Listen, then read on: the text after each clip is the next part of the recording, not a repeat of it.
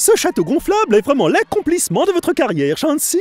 Ah oui, mais je ne peux m'empêcher de penser que cette architecture élastique est coincée au Moyen Âge. Et pourquoi pas des tours élastiques ou des écoles élastiques et des hôpitaux élastiques Oui Oh.